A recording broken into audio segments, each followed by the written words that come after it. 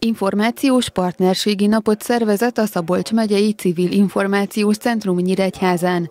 A találkozón elhangzott, a szabolcsi szervezetek számára kiemelten fontos a kormányhivatal és a centrum kapcsolata. Március 1 óta van egy nagyon erős közös feladatunk is a kormányhivatallal, az úgynevezett megyei kulturális közfoglalkoztatás, amelyet a Szabolcs-Szatmár Beregmegyei Civil Információs Centrum gondozásában a kormányhivatal foglalkoztatási főosztályával szoros együttműködésben 200 embernek tudunk ennek keretében munkát adni, és nagyon sok civil szervezetnek a kapacitás problémáit, munkaerő hiányát tudtuk ezzel megoldani.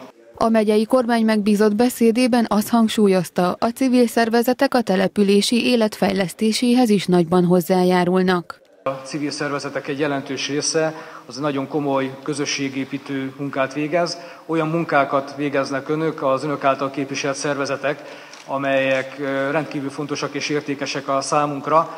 Nyilvánvalóan az államnak megvan a maga feladata, a kormányhivatalnak megvan a maga feladata, de hát a civil élet ezt nagyon jól ki tudja egészíteni, ezt nagyon, nagyon jól képes színezni, és én azt látom, hogy Szabolcs-Szatmár Bereg megyében egy nagyon komoly civil élet folyik.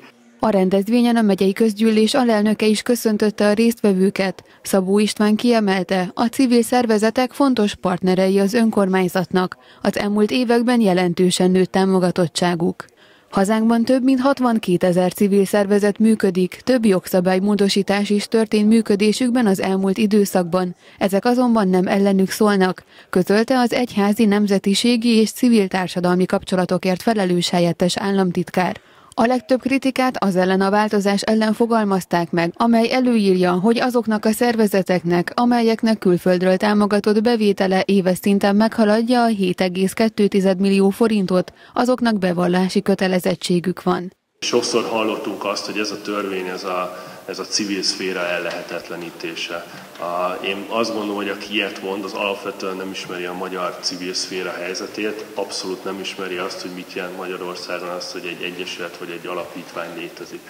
Magyarországon a civil szervezetek 76%-a az 5 millió forint alatti árbevétellel gazdálkodik.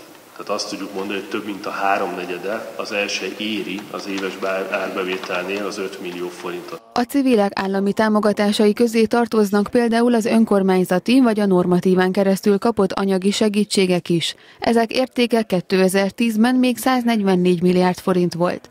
Öt év alatt ez 40%-kal nőtt, és 2015-ben már összesen 202 milliárd forintot fordított a kormány a civilek támogatására.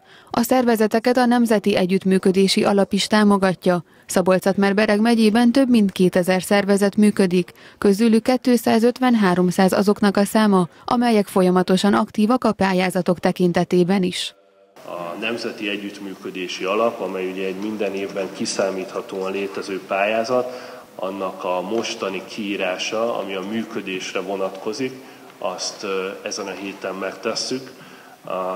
Ami egy kiírás most a Nemzeti Együttműködési Alapból a működésre vonatkozik, tehát civil szervezetek működésre tudnak pályázni, összességében 2,8 milliárd forintért.